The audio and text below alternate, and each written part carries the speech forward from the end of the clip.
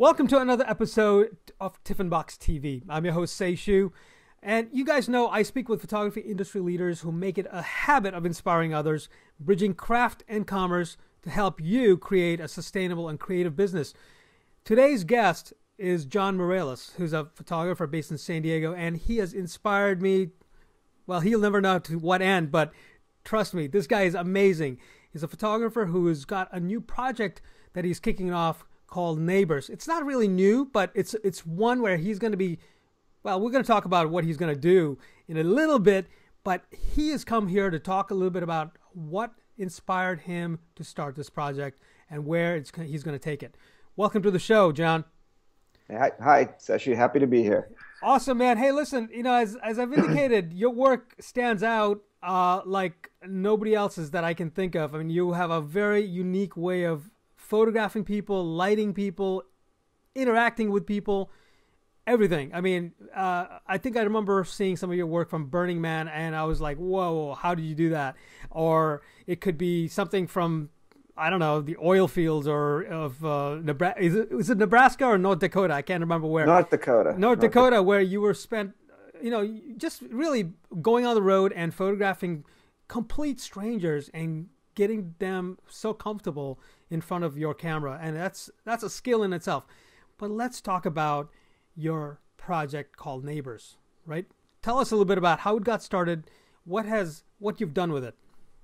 Uh, well, let me just take a step back first of all. Please, I think we've, please. Yeah, we've known each other since the days of the Digital Wedding Forum. That's right. Uh, and um, uh, so, you know, my background is doing commercial photography, and then I started shooting weddings uh, for about ten years.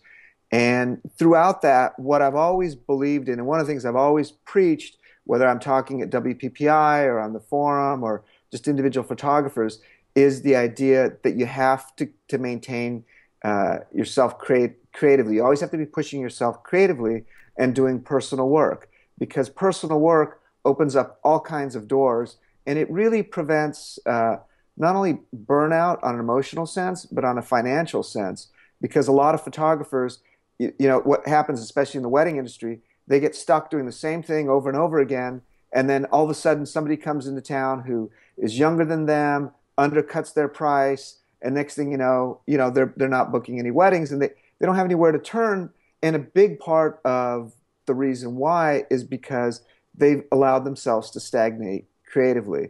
And so, one thing I've always done throughout my career, um, sometimes more successfully than others, is push myself to be taking on new projects. And Neighbors is my newest project. Mm-hmm. Um, you mentioned my work in the Bakken oil fields of North Dakota. Um, that was probably my first like really big, uh, like you know, like uh, what James uh, Collins, uh, Jim Collins uh, would call a BHAG, which is a big, hairy, audacious goal. Uh, in his book From Good to Great, he, he talks about companies that made the transition from being a, a good company to a great company, company like IBM, Philip Morris, um, Motorola.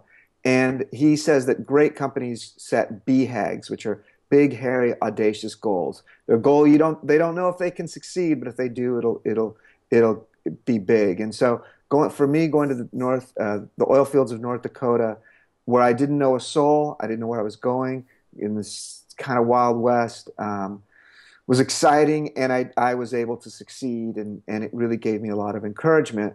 And then what I did is I took that work to a, a world, sort of a market where I'd never uh, previously ever engaged with, and that's the fine art world, or I should say the art world.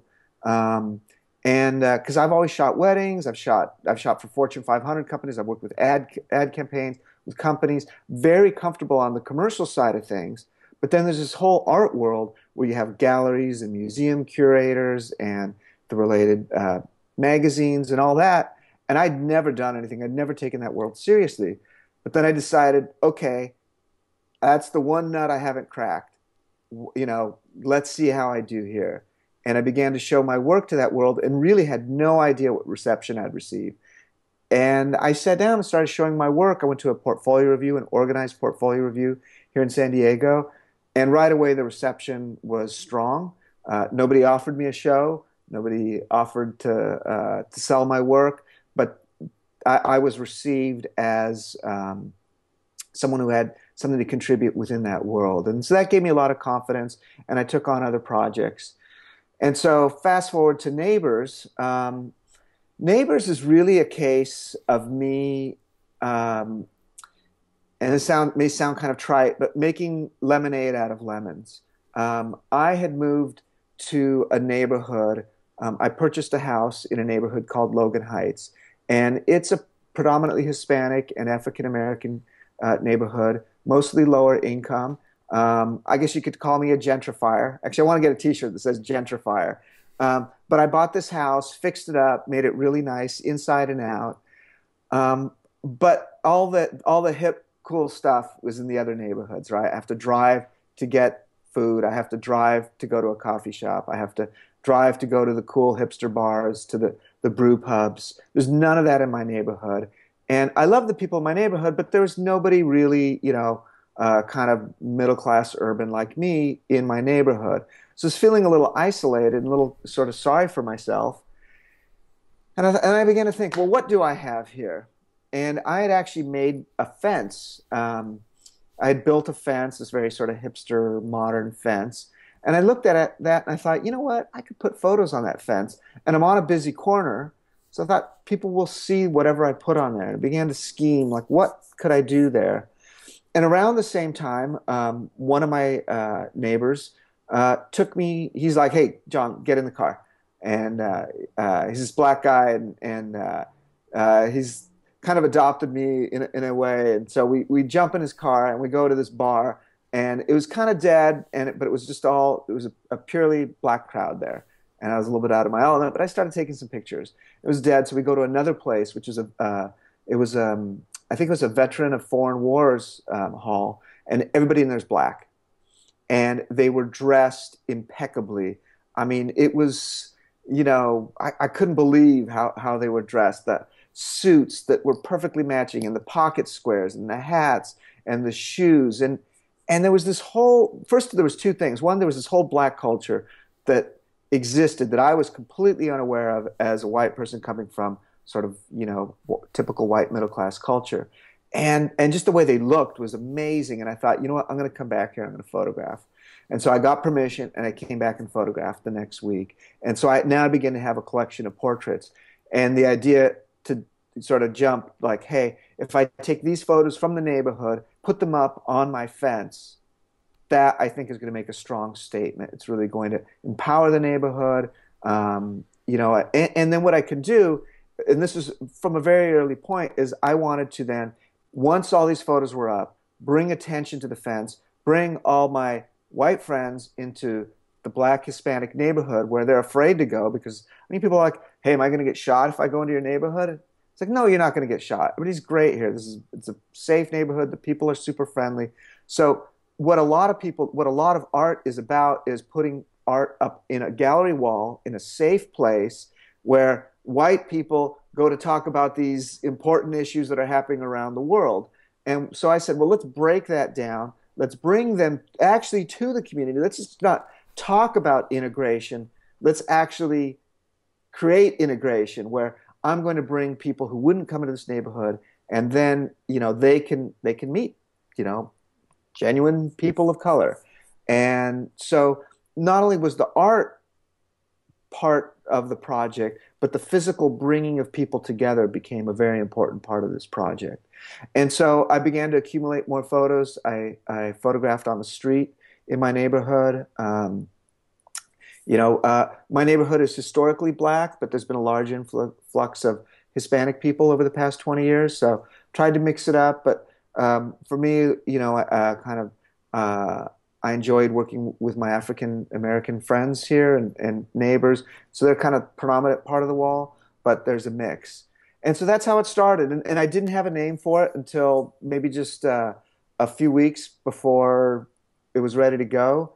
And I, I brainstormed and finally neighbors is like that kind of yeah. Um, it's a it's a perfect it title for what you're trying to do. And interestingly, you you know the the project that sort of inspired this one was in North Dakota, which is several thousand miles away, probably from where you are.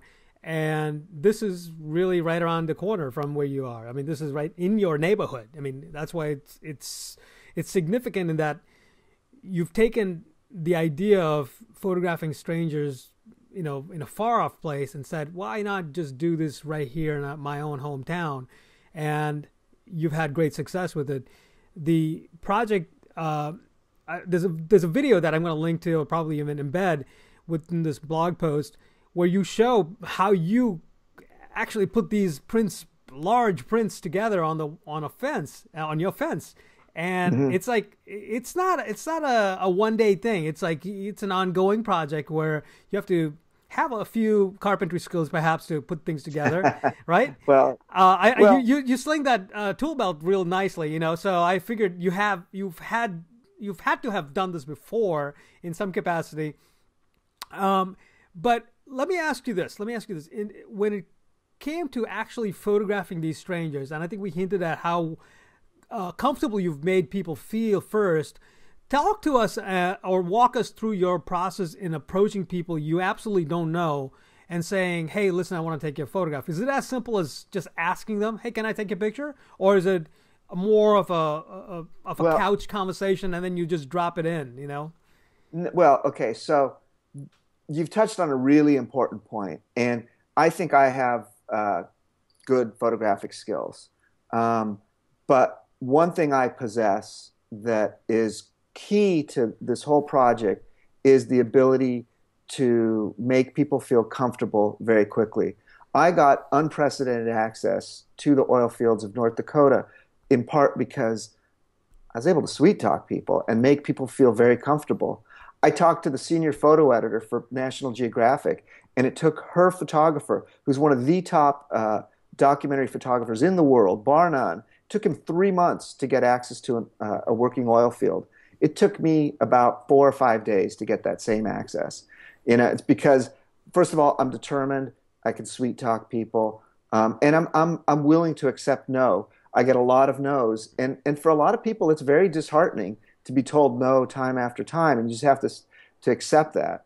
But so talking about what I actually do is, um, I have seconds to break through to somebody because when I walk up to somebody they uh, they think I'm going to sell them something, and so they put up their defenses.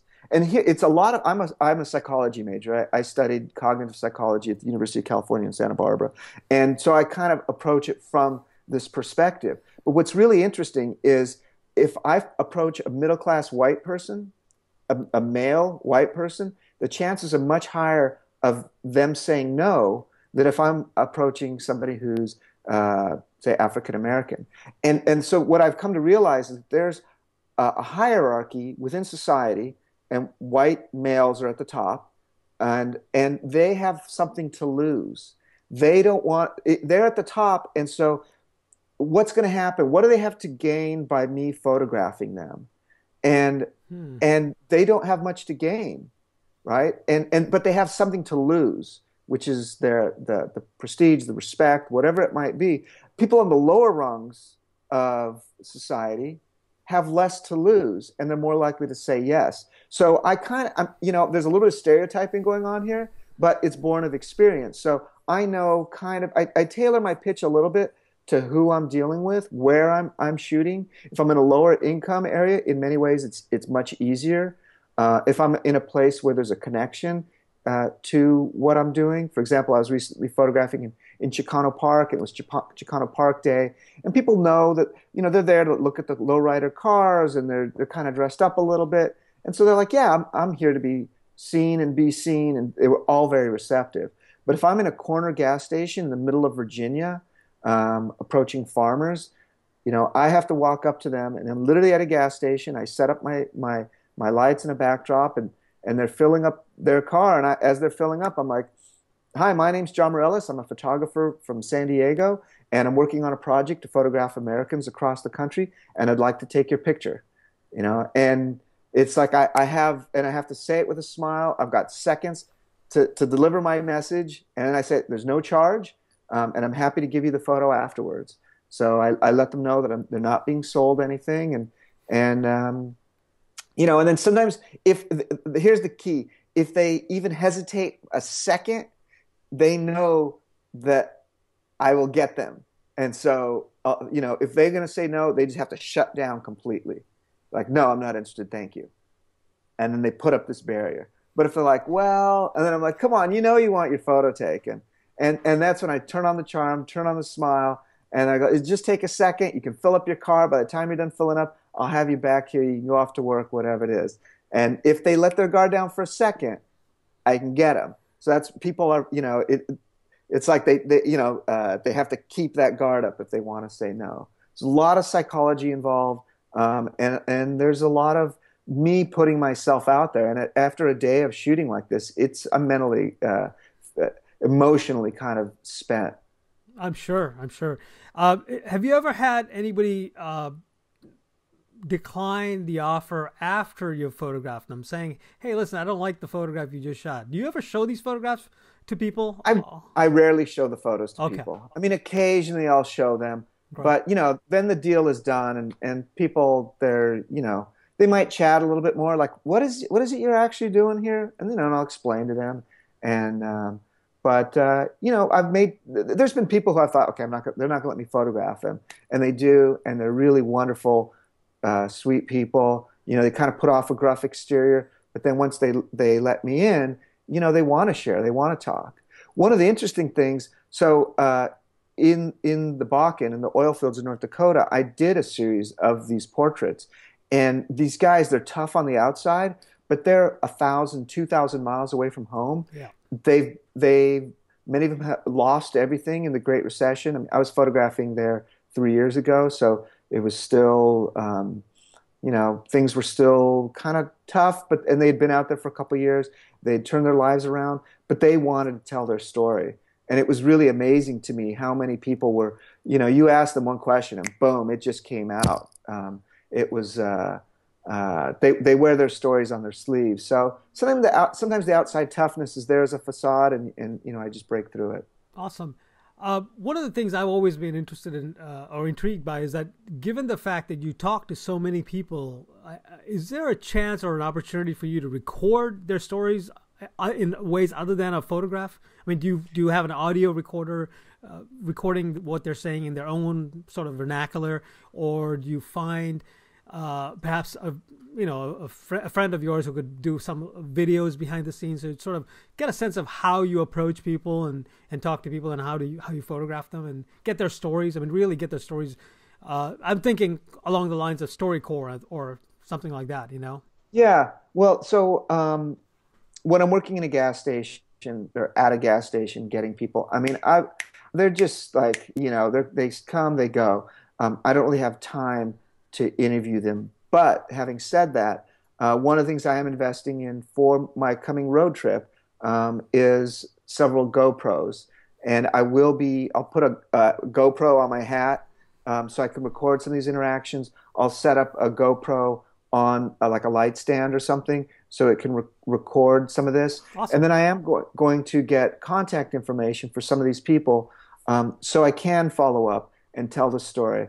For example, on my blog, on my uh, jraymondmireles.com slash blog um, uh, section of my website, I recently put up the story of Chuco, who uh, I, I got his information and I followed up. And, you know, I basically everything in there is, is his words. I just sort of combined it and, and strung it together. And it's a really powerful, interesting story. Uh, Amazing story. Amazing yeah. story, yes so I'm not going to do that with everybody, but sure. I think I will do it with some people because I think it also it helps connect, uh, you know, further the connection between what I'm doing and and the audience. Awesome. Uh, let's jump right into the the project, which uh, you're, uh, you know, gunning to go around the country and photograph people at gas stations or other places. Tell us a little bit about what you're planning on doing with this Neighbors project. Now it's now that you've you've launched it in San Diego. Are, are, you moving it on to other cities across the country? Is that the idea?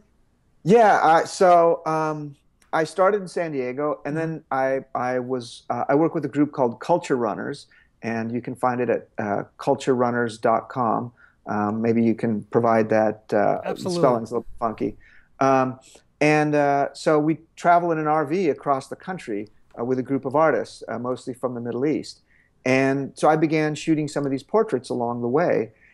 And so I was going to different states, and then the idea struck me why don't I take this to all 50 states? That would be amazing. I'm still kind of scared by the idea because it's a lot of work. Um, but I thought, you know, if I can pull this off, it would um, it would be a body of work that would would be monumental both for me uh, and also I think you know for for um, within the context of photography and art.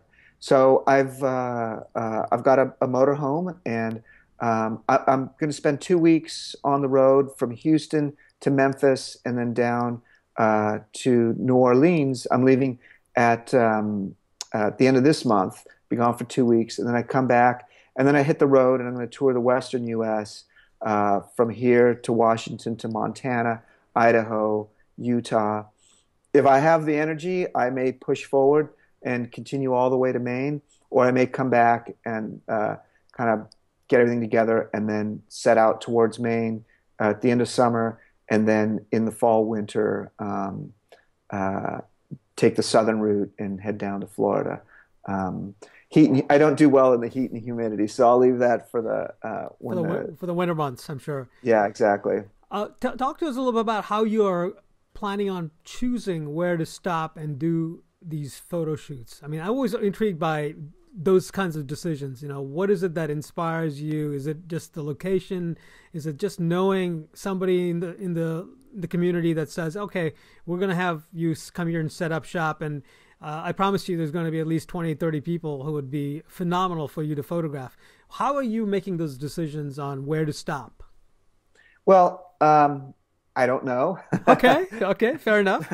no, um, you know, I, I, was looking at the on the map and saying, you know, for example, uh, north of LA, there's a town called Bakersfield, and Bakersfield is a great mix of. There's a lot of uh, farm workers there who I think are an, an important. Uh, you know, it's like kind of piecing a puzzle together. So I want to get the farm workers. There's also a lot of uh, oil workers uh, in the area, uh, and there's farmers and there's there's ranchers, and so I think you know it's a good sort of representation of you know, of uh, of the West in California. And so then, you know, heading up maybe uh, to north of Sacramento, we have a lot of organic farmers, um, and uh, San Francisco, where you have the hippies and you have the tech workers. And so I kind of look at like, okay, well, you know, what's going on within the geographic area? What's sort of representative? And then, you know, okay, maybe a college town, maybe uh, uh, a, you know, there's a town, there's a logging town you know, getting kind of some of the archetypes of um, of the, that particular region, and and then sometimes it's just like, hey, you know what? This looks like a good spot. This looks like a great gas station. You know, what are great are gas stations that are at the, the intersection of four corners, kind of in the middle of nowhere. And gas stations are great because everybody has to stop for gas.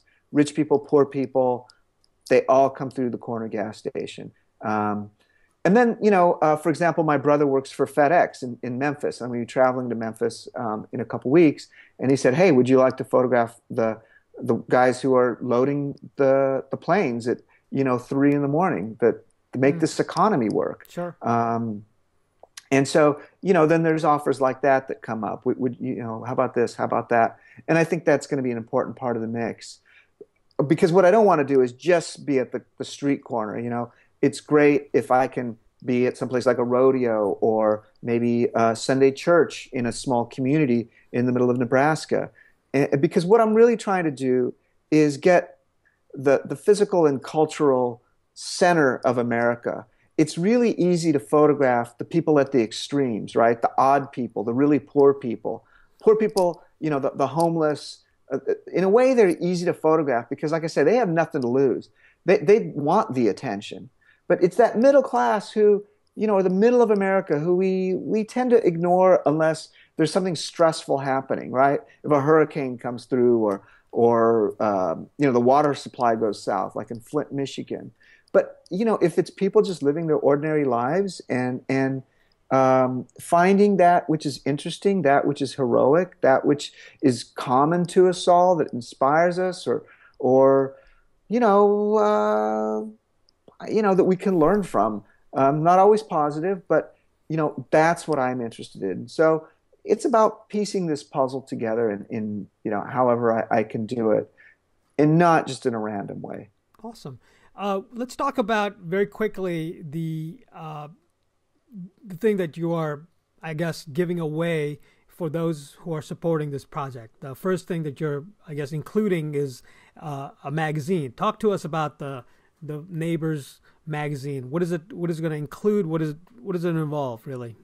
Well, um, so let me just say that I'm I've got a GoFundMe campaign, and uh, as you can imagine, traveling across the country in a motorhome uh, that gets eight uh, miles to the gallon uh, is not cheap. Um, you know, I figure I'll log at least 15,000 miles on this trip. So uh, I've launched a GoFundMe campaign so that people can contribute and help out. I think this is going to be a, a really uh, amazing project and, and, a worthwhile one. And so uh, to sweeten the pot, I've created um, uh, a 20 page magazine that I'm giving away. Contribute 30 bucks, you get this magazine, and I sign it. And I guarantee you, once this is all said and done, this thing's going to be a collector's item. Um, so it'll be well worth the money you spent. But for me, it's not just a magazine that I'm giving out. What I what I do is when I lay it out, I put two images side by side that might be people who are similar or people who are different and radically different. But then you see them side by side and you see the similarities and you see the differences. And there's this this this thing that happens that is greater than the sum of its parts. You know, you begin to understand America, you begin to understand Americans, you begin to understand our cultural differences, our similarities, our economic differences. I mean, it's just kind of, it, there's a little magic that happens when you place two images side by side. So for me, in an artistic level, um, laying this, this magazine out is really kind of uh, the end goal because then this is a step towards a future book. Um, and, and my book, Inspiration, I have to, to shout out to Richard Avedon. Uh, his book, In the American West, is really the inspiration for this project. And so, you know, that's um, it's an inspiration, it's a goal, and I want to be able to live up to that standard. And, and so when I see the work put together, it, it kind of gives me goosebumps in a way because it's the path towards, you know, a book that hopefully can inspire future generations of photographers and Americans. Awesome. Uh, last question for you. Uh, when it comes to uh, photographing, whether it's at a gas station, uh, I'm assuming you're asking for permission first uh, and setting your, your gear and lights and things like that up. Uh, but when it comes to being outdoors and photographing outdoors, whether it's with weather being an issue or just really being in a neighborhood that you are not really, you know, you're, you're essentially a foreigner. Uh, yeah. You, you, could be easily picked off in a way. You know, how are you planning on securing yourself being outdoors? Uh, well, uh, I have always depended on the kindness of strangers. There you go. Uh, awesome. Uh, you know, I mean, I, I was in uh, Palestine, Texas, uh, at this little dive um, restaurant. It was like a little gambling joint, and I was with with my culture runners crew, and they just left me.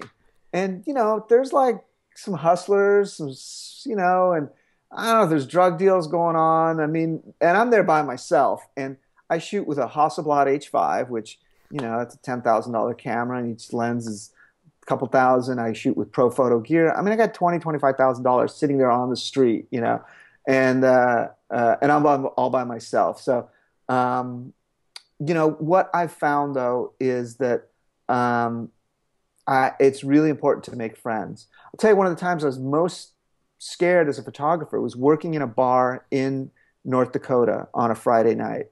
Because in North Dakota there's no women. There's you know people go out the, the guys go out and they get drunk and you know uh, they're uh, you know so there's nothing to do but fight you know and guy coming in from out of town you know I don't know anybody there. Easy to pick a fight. Uh, and so what I did consciously is I engaged every single person in that bar who was in my area. So if I was photographing you, but there was a guy behind you, I had already in my, introduced myself to that guy behind you, so that you know I was friends with everybody. And if somebody was going to pick on me, you know, and I've had people tell me, "Hey, if anybody gives you a hard time, I've got your back." So awesome. um, it's really just uh, you know, instead of like going in with, I'm going to protect myself, it's like, I'm going to open myself up to everybody here. And if you're friends with people, you know, they respect that. Awesome.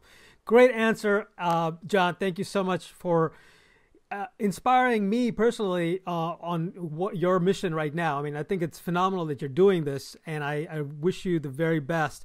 Um, I will have this uh, on my blog, of course, so uh, consider this as a sort of a semi promotional uh, interview in a way. Uh, you are doing this to advance, obviously, your creative skills. You're, you're flexing your creative muscles and traveling across the country.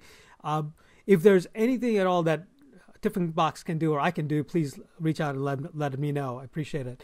Um, yeah. Can I just say one more thing before yes, we please, go off? ahead. Yeah. And, and, that's a that's a message to uh, all the viewers. Um, you know, I've always, and as I said at the beginning, I've always uh, recommended that photographers have personal projects. And I think every photographer should have a book that they're working on. You know, it, it can be just a, a one off book made by Blurb. I do Blurb books all the time, um, just for my own own purpose, because once you begin going down this, this path, all kinds of doors open up, both creatively and professionally. And so, if there's anything that my experience can can can teach or inspire, it's that everybody you know, whether it's big or small, it could be right in your backyard. Everybody should have uh, a book project or personal project. Awesome. John, wishing you well, wishing you the best, and good luck with your project. I will have links to the GoFundMe page as well as the uh, the magazine that you have uh, that you're you're including as part of uh, people's donation. Thank you very much. Awesome. All right. Thank Th- you. Take care, bud. Bye.